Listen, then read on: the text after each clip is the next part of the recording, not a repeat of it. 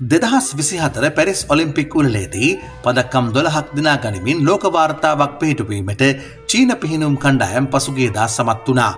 කෙසේ වෙතත් විදෙස් මාධ්‍ය වාර්තා කර තිබුණේ චීන පිහිනුම් ක්‍රඩකයන් දෙදනුගේ සාම්පලවලින් තහනම් උත්තේජක හමුවී ඇති බවයි.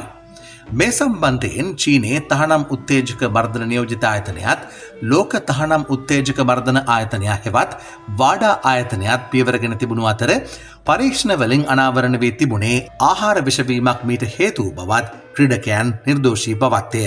මේ සම්බන්ධයෙන් චීනයේ CGTN රූපවාහනී නාලිකාවට අදහස් දැක්වූ වාඩා සාමාජිකයෙක් වන ඩේවිඩ් ලැපාචියන් මහතා පවසා ඇත්තේ චීනය තහනම් උත්තේජක නීති උල්ලංඝනය කර නැති බවට වඩා ආයතනය විසින් සිදු කළ ප්‍රකාශය විශ්වසනීය වන බවයි.